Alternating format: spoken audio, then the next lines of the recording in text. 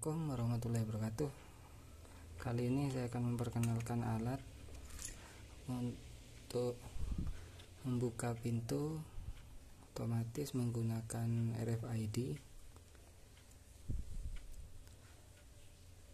Terdiri dari kontrolernya Terus selenoid. Selenoid dan tag RFID di sini ada empat biji. Dan antenanya. Seperti ini.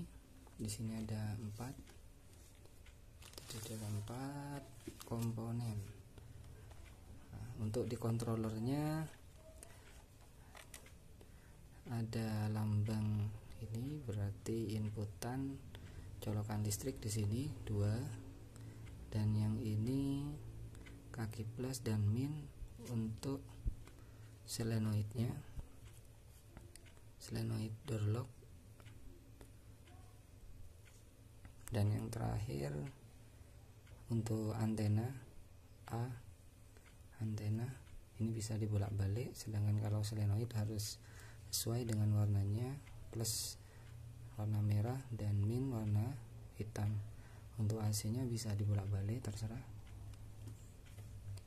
Cara kerja alat ini hampir bukan hampir sama tapi sama dengan video sebelumnya. Cara membuat eh, kalau tidak salah cara membuat kunci pintu otomatis menggunakan RFID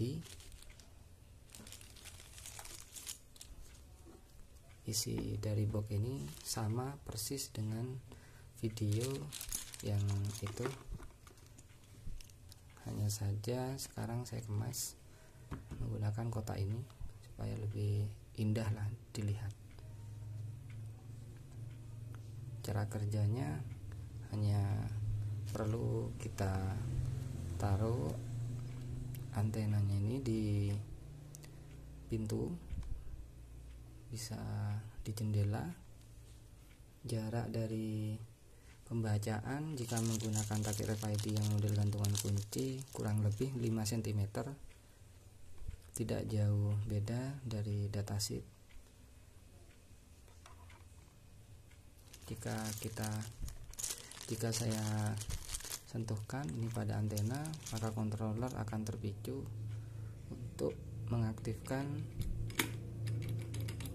selenoid door locknya selama 5 detik. Sudah selang waktu 5 detik maka selenoid akan tertutup. Normal close seperti ini. 5 detik. Nanti di video di akhir video saya akan beritahu isi dari video sebelumnya itu apa? Biar bisa dilihat. Mungkin sekian. Wassalamualaikum warahmatullahi wabarakatuh